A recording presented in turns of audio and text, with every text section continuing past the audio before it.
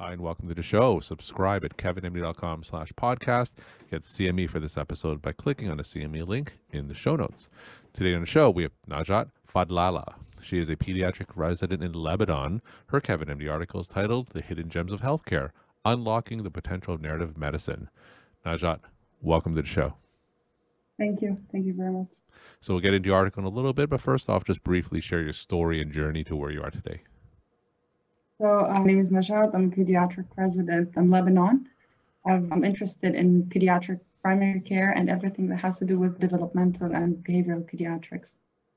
All right. So tell mm-hmm. us what it's like to train in pediatrics in Lebanon. What's a typical day like? Well, it's everything that has to do with the, the intensity of residency. Add to that everything that has to do with the intensity of an economic collapse going on. So you're sort of juggling between multiple things at once, but it's still manageable somehow. So you have to worry about not only just finishing your clinical hours and your duties and so on, but you also have to worry about the, your patients being able to afford coming to the clinic in the per- first place, being able to find medicine when they leave home with a prescription, and so on. So uh, it's it's more intense, but it's also uh, more rewarding when you're able to make a difference so we know that there is an economic crisis in Lebanon, but for those who aren't familiar, and you don't have to get into too many details, just briefly tell us the severity of the crisis and how that is specifically affecting not only your patients but the clinicians there as well. Yes, so the intensity of a crisis could the, could be described with one piece of information, which is that the local currency used to be one dollar was one thousand five hundred, and now one dollar is one hundred thousand. So this is in a matter of four years. So the inflation is beyond uh, beyond description. Uh, this affects the people in general, my patients, the patients we see at the hospital. Not not everyone can afford healthcare anymore. A lot of people are coming in presenting with very late symptoms, very severe symptoms, which is very hard to see. It also affects hospitals and clinicians because a lot of physicians ended up leaving the country, especially when, when the crisis was first unraveling. So this whole like sort of uh, moving of physicians abroad also affected the quality of healthcare in Lebanon. But we sort of still manage, some people still want to stay despite the circumstances and try to give despite not being so much to take. Now, tell us specifically with the children and the families that you see. Tell us a story about how this economic crisis is affecting the children and families that you see. Uh, well, I can recall a patient that I saw in the outpatient department a couple of days ago and I was I wanted to refer them to multiple physicians because the patient had a very severe rheumatologic disease. They were struggling so much with securing the medication. They were trying to get it from abroad, and then even that they were trying to like borrow money from other people so that they could afford it. But when I was trying to make the referrals, I noticed that the referrals are going to be on different dates because the specific physicians that I want do not come on the same day. And I was telling them that, and they told me that they had to spend half of the uh, father's salary on just a trip to the hospital because they live far from Beirut.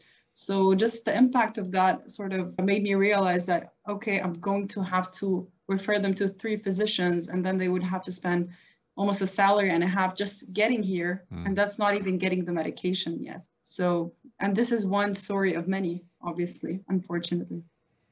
All right, let's talk about your Kevin MD article now titled The Hidden Gems of Healthcare Unlocking the Potential of Narrative Medicine. Now, how did your article come together? So, the idea for the article came about when I was talking with one of my mentors, and I was uh, telling him that um, I think narrative medicine should be part of any medical school mm-hmm. curriculum. And he was asking me how so, and I was saying that it's the same thing with research, the same way we teach medical students about research and research techniques because we have this unique exposure throughout medical school and the clinical setting to uh, various data that could be turned into articles. The same way we have a different type of exposure, which is exposure to sort of difficult cases to swallow. We, we have an exposure to the troughs and peaks of life we have an exposure that no other specialty would guarantee. And this unique exposure should be also translated into some sort of publication. Doesn't have to be academic per se, but something to be shared with others and then others could benefit from. So and then, yep, yeah. And then sort of after this conversation, my mentor told me like, you should write this down. And so I did. And this is how it came together. Why is it important for you and other clinicians? Why is it important for you to share share the stories? Well, I can talk about myself and how this affected me personally, and I think it could reflect on others as well. Sure. So, what happened with me is I started writing when I started sort of my clinical years. I I didn't write before that. I have no experience in literature or uh, writing in general before that, but I started writing down the stories, just typing them in my notes on mm-hmm. my phone. And then it sort of helped me, first of all, release the stress from seeing something so intense, witnessing a patient pass away, or a patient say their last goodbye, or a patient on the psychiatric ward, seeing them completely dissociate from reality. This was also intense for me as a medical student. So I just used to write the stories anonymously, obviously, mm-hmm. in my notes on my phone. And then somehow along the way, I started sharing them on social media and so on and people started responding positively to them. And what kind this of things did they say? Well, some people like would send me messages that this reminded them of the time they lost someone, and this sort of helped them revisit their emotions in a healthy way. And perhaps the most striking story that happened with me was a couple years ago. I was still a third year medical student. I was on the oncology ward, and I saw a patient receive his diagnosis of leukemia. Now, the patient was in his late 20s. He's a, he was a math teacher. He had the entire future ahead of him. And I remember that it was so intense because it was so intense to witness his genuine reaction to the news and how he took it so calmly. A couple of months later, I was scrolling through social media and I saw his picture that he just passed away. And I remember then I wrote something down and I just shared it. It was anonymous. However, two days later, his mother sort of found my number through a mutual friend and called me and actually thanked me for writing this, which was so heavy to handle, but also so humbling that I was able to write something that resonated with someone whose experience was so personal too. So all of this sort of motivated me to keep on writing. And then the other aspect of writing that helped me out was not just being able to write and release, but also being able to build tolerance throughout my my residency without becoming indifferent. So i was able i'm able to tolerate seeing these intense situations seeing unfortunately when patients even young children pass away i'm able to tolerate this without becoming indifferent to their pain. I'm still able to feel and sympathize but i can move on in a healthy manner because of uh, this healthy way of release that i have uh, come to nurture. So tell us when do you find time to write these stories? Because I could imagine as a pediatric resident, as busy as you are, you don't have a lot of time to yourself. So, mm-hmm. how often do you write about patients? When do you find time to do so? So, what helped me find the time was losing the writing rituals. So I always tell my friends who ask me about this, just lose the writing rituals. If you have, if you always want to write down in a journal, in a calm place and whatever, you're not going to find time to write. Realistically, what we should do is just lose these rituals and just do it in the most effective way. What worked for me was just typing them down on my phone whatever I get a, a couple of minutes. If I feel something so intense, I just write it down and then and then let it out and then go on with my day. Sometimes I write during my shifts sometimes before I go to bed. So it depends, but losing the rituals helped me sort of incorporate writing as a very natural thing that I do every day. Is there an example where one of your stories or or your writing process has changed you as a physician after you wrote that story?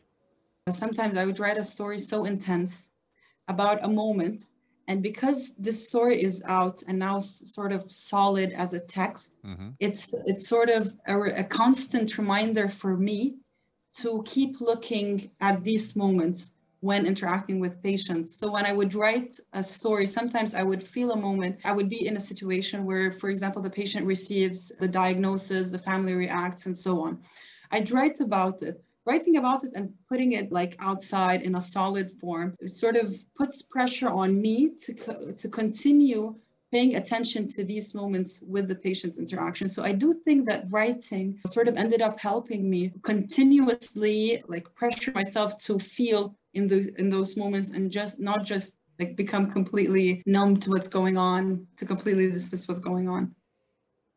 We're talking to Najat Fadlallah. She's a pediatric resident in Lebanon.